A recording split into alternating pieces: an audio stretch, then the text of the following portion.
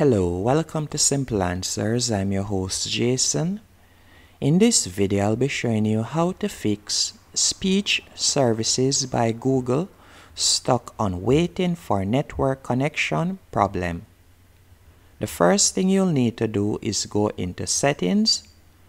Once in settings, you're going to scroll down and you're going to select Google.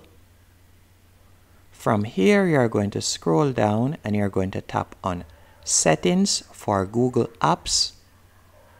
Then you're going to tap on search assistant and voice.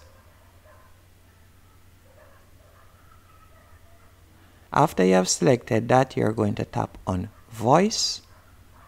And from here, you're going to tap on offline speech recognition. Then you're going to select auto update in the top right hand corner. And instead of having it on auto update languages over Wi-Fi only, you're going to tap on do not up, auto update languages. And after you have done that you're going to tap back.